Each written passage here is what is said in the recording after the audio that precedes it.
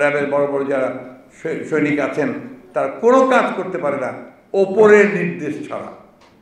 শীর্ষ পর্যায়ে আপনারা দেখেছেন, সম্প্রতি যে একটা ভিডিও ভাইরাল হয়েছে ডয়েচে ফেলের সেখানে পরিষ্কার করে বলেছে, বলছে যে আমাদের একেবারে টপ, দেশের টপের কাছ থেকে আমরা নির্দেশ পাচ্ছি। তো এই নির্দেশে যদি টপ থেকে নির্দেশ মানুষ হত্যা করা হয় টপ থেকে নির্দেশ দিয়ে যদি আপনারা এভাবে অন্যায় অত্যাচার করে মানুষকে নির্দয়ভাবে মেরে ফেলা হয়, তাহলে সেই রাষ্ট্র কি আর রাষ্ট্র থাকে? সেই রাষ্ট্রের কোনো গণতান্ত্রিক তো দূরের কথা রাষ্ট্রই থাকে না। পুলিশ কমিশনার বললেন যে ঢাকায় বাইরে সভা করা যাবে না বা কোনো প্রোগ্রাম করা যাবে না। কেন? কোন আইনে আছে যে আপনি আমাকে বাইরে সভা করতে দেবেন না, অথবা আমার কোনো কর্মসূচি পালন করতে দেবেন না? মগের মূল্য নাকি? আমরা খুব পরিষ্কার করে যেটা লক্ষ্য করছি যে এই সরকার অত্যন্ত পরিকল্পিতভাবে এই দেশকে একটা সংঘাতের দিকে নিয়ে যাচ্ছে। অত্যন্ত পরিকল্পিতভাবে বিনা উস্কানিতে বিরোধী দলের কর্মসূচিতে আক্রমণ করে আঘাত করে তারা একটা সংঘাতময় পরিস্থিতি সৃষ্টি করতে চায়। তারাই চাচ্ছে। আমরা বিরোধী দল হ্যাঁ। এবং আমরা যে কথাটা আপনাদের বলতে চাই বলতে চাচ্ছি সেটা হচ্ছে আমরা কিন্তু লক্ষ্য করে থাকবেন যে আমরা ন এখন পর্যন্ত আমরা যে কর্মসূচি দিয়েছি সেই কর্মসূচিগুলো সবগুলোই হচ্ছে আপনার শান্তিপূর্ণ। এবং সবগুলোই হচ্ছে গণতান্ত্রিক কর্মসূচি। আপনি যদি বলেন আওয়ামী লীগ তো সবসময় বলতে থাকি তারা সংবিধান মেনে চলবে। তো সেই সংবিধানে তো পরিষ্কার করে বলা আছে। যে আমাকে আমার কথা বলার অধিকার দিতে হবে, প্রতিবাদ করার অধিকার দিতে হবে। সরকারের বিরুদ্ধে কোনো কথা বলা যাবে না। সরকার কি রাষ্ট্র বা সরকার কি গড? সরকার তো গড নয়। আমি অবশ্যই এই দেশে যদি গণতন্ত্রে বিশ্বাস করি, আমি অবশ্যই আমার কথা বলব। তার সঙ্গে তুমি একমত না হতে পারো। গণতন্ত্রের কথাই একটা আছে আপনার যে আমি তোমার সঙ্গে একমত না হতে পারি, কিন্তু তোমার মত প্রকাশের স্বাধীনতাকে আমি আমার জীবন দিয়ে হলেও রক্ষা করব। দ্যাট ইজ ডেমোক্রেসি কিন্তু এদের কাছে ডেমোক্রেসি হচ্ছে যে একমাত্র আমিই কথা বলব, আমার কথা মতোই সঙ্গে চলতে হবে এবং কৃতদাস হয়ে থাকতে হবে। কিন্তু বাংলাদেশের মানুষ তো সেটা হতে দেবে না।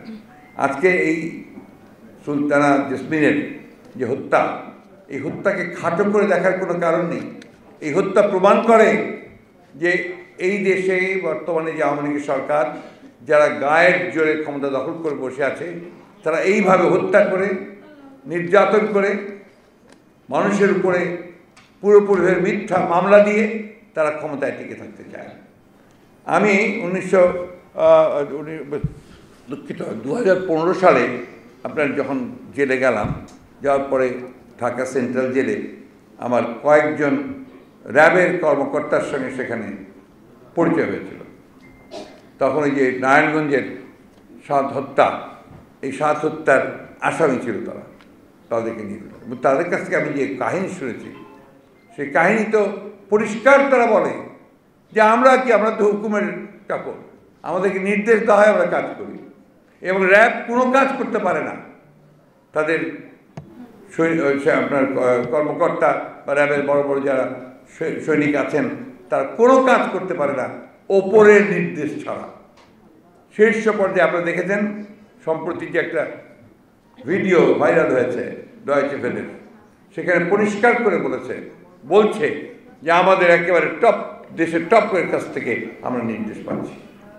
তো এই নির্দেশে যদি টপ থেকে নির্দেশ দিয়ে মানুষ হত্যা করা হয় টপ থেকে নির্দেশ দিয়ে যদি আপনারা এভাবে অন্যায়, অত্যাচার করে মানুষকে নির্দয়ভাবে মেরে ফেলা হয়, তাহলে সেই রাষ্ট্র কি আর রাষ্ট্র থাকে?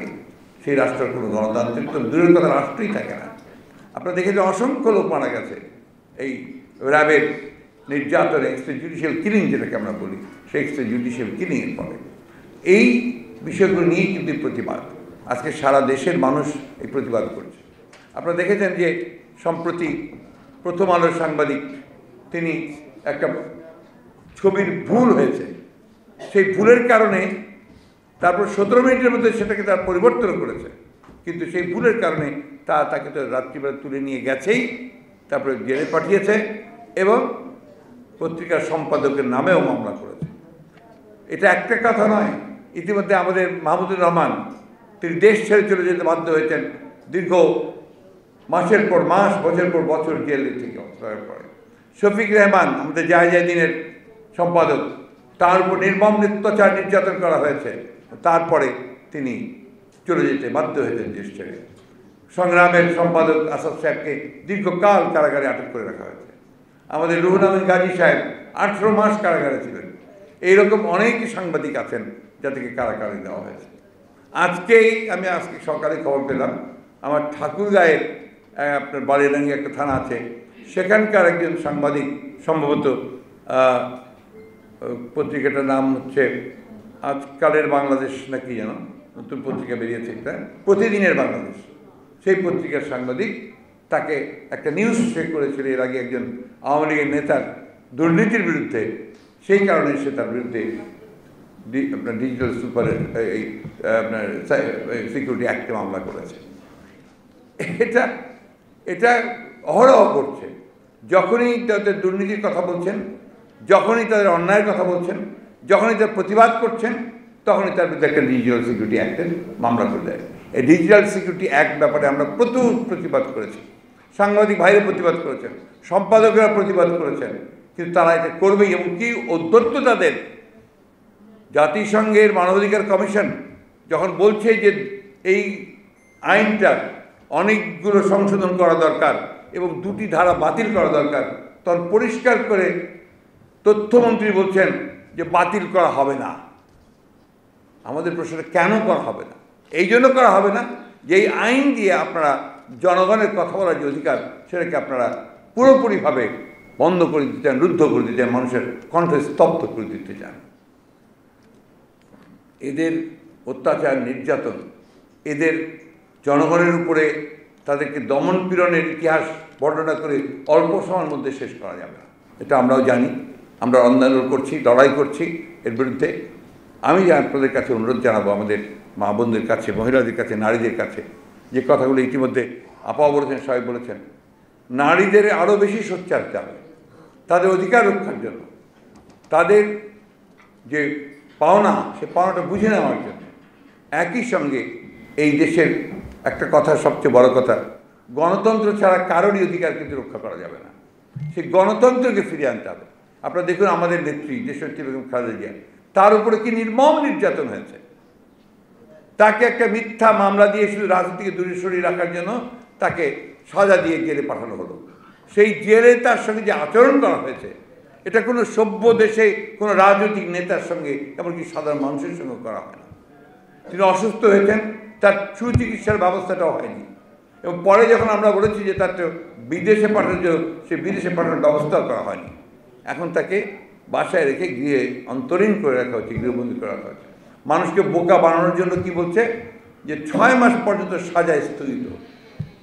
তার তো জামিন প্রাপ্য। আপনি ধরে নিলাম, আইনের ধারায় চললেন, আইনের ধারায় চলতে তাকে তো জামিন দেবেন। জামিন দিচ্ছেন না কেন? আপনার, আপনাদের মন্ত্রীরা অনেকে মন্ত্রী ছিল, অনেকে এমপি আছে, আবার ইলেকশনও করেছে। তাদের তো জামিনও দিয়েছেন এবং তাদেরকে রাজ, সব রকম রাজনীতি করার সুযোগও দিচ্ছেন কোনো কিছু সমস্যা হয় না। তাই আমার যে কথা, সহকর্মী আপনারা সবাই আমাদের কথা, যে আমাদেরকে আমাদের এই আন্দোলন দুর্বল করে গড়ে তুলতে হবে। বাধা আসবে, বাধা অতিক্রম করতে হবে। আপনার পার্টির সামনে, পার্টি অফিসের সামনে কর্মসূচি করতে দেয় না, প্রোগ্রাম করতে দেয় না। এখন আপনার প্রেস ক্লাবের সামনেও করতে দেয় না। এমনকি আর প্রেস ক্লাবটা দখল করে নিয়েছে তাদের লোকজন দিয়ে, বেআইনিভাবে, সেখানেও আপনার তাদেরকে প্রোগ্রাম করতে দেওয়া হয় না। আর বিএনপির নাম শুনে তো দেওয়াই হয় না। এই বাধা তো আমাদের অতিক্রম করতে হবে। আমাদেরকে সামনে এগুতে হবে, অতিক্রম করতে হবে এবং ওই কথাটা মনে রাখতে হবে, বাধা দিলে বাঁচবে লড়াই, মরবে তুমি মরবে। আমাদেরকে সেইভাবে এগুতে হবে। আমি আজকে আপনাদের এই অনুষ্ঠানে আমাকে আমন্ত্রণ করার জন্য আমি আপনাদের ধন্যবাদ জানাচ্ছি। সবচেয়ে বড় কথা হচ্ছে যে আমাদের মূল যে আন্দোলন, আমাদের গণতন্ত্র পুনরুদ্ধারের যে আন্দোলন আমাদের দেশনেত্রী বেগম খালেদা জিয়াকে মুক্ত করবার যে আন্দোলন আমাদের নেতা তারেক রহমান সাহেবকে দেশে ফিরিয়ে আনবার যে আন্দোলন আর আমাদের এই যে হাজার হাজার মানুষ যারা শহীদ হয়েছেন যারা প্রাণ দিয়েছেন যারা ত্যাগ স্বীকার করেছেন আজকে পঁয়ত্রিশ লক্ষর উপরে বেশি মানুষের বিরুদ্ধে মামলা এই মামলা প্রত্যাহার করার যে আন্দোলন। আমি জানি আপনাদের মধ্যে এখানে প্রায় অনেকেই আছেন যারা জেলে গেছেন তাই না? খুব কম আছেন যারা যাননি। মহিলাদেরও তারা কোনো রেহাই হ্যাঁ, জানি আমি সেগুলো। তো এই জিনিসগুলো কিন্তু আমাদেরকে কেউই এই যে স্বামী আমার এখানে আছে, একবার জোর করে আন্দোলনের হরতালের জন্য স্বামী মনে আছে, জোর করে নিয়ে গেল। এগুলো আমাদের সমস্ত অভিজ্ঞতা আছে। সুতরাং আমাদেরকে নিজেদের অধিকার নিজেদের আদায় করতে হবে। আমাদের পুরো আন্দোলনকে সফল করতে হবে। দশ দফার যে আন্দোলন আমরা শুরু করছি, সেই আন্দোলনকে সফল করতে হবে। আসুন আমরা সেই লক্ষ্যে আজকে সুলতানা জেসমিন বলুন অন্যান্য মহিলা যারা আত্মত্যাগ করেছেন, স্বীকার করেছেন, তাদের সকলের এই আত্মত্যাগকে সম্মান জানানোর জন্য আমরা সবাই ঐক্যবদ্ধ হয়ে আরও দুর্বার আন্দোলন গড়ে তুলি এবং মা বোনদেরকে অনুরোধ করব যে আপনারা সামনে বেরিয়ে আসবেন, অন্যায় প্রতিবাদ করবেন। দ্রব্যমূল্য কথাটা একটু বলে শেষ করি। জিনিসপত্রের দাম কীভাবে বেড়েছে এটা আপনারা সবচেয়ে ভালো জানেন, তাই না? তা আপনারা একটু থালা বাটি এই ঝাড়ু টাড়ু নিয়ে একটা মিছিল তো করতে পারেন। করছেন না? ধন্যবাদ। এই জিনিসগুলো আপনার আনতে আসতে হবে। আপনারা রাস্তায় নামলে তখন সবাই নামবে। এটাও একটা ব্যাপার আছে। তা আসুন, আমরা সেইভাবে সামনের দিকে এগিয়ে যাই। আন্দোলনের মধ্য দিয়েই এই যে দানবীয় সরকারটাকে আমরা পরাজিত করব। আমাদের অধিকারগুলোকে আমরা আদায় করে নেব। Zafran. Amazing hair regain spray. Stop hair loss within 3 days. 3 inches hair growth within 1 month. Grow new hair within 2 months. আমার মতো ঝলমলে ও লম্বা চুল পেতে চাও ট্রাই করো জাফরান hair growth therapy To get the original Jafran oil, don't forget to scan QR code of the security card. Collect today and try it.